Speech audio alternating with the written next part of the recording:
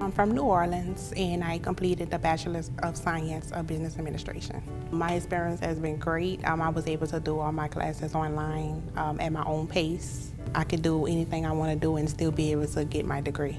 I would go to work and then when I come home I would basically do about two hours a day and I was still able to finish my degree within the four years.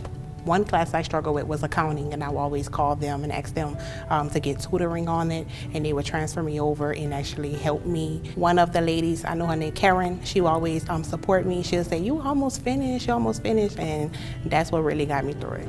I did get a job offer with my degree, so um, I'm excited with that. Um, I'll be working um, with Progressive. Today I will be graduating and I feel so excited. I'm so glad that I completed my bachelor's degree and I'm so excited.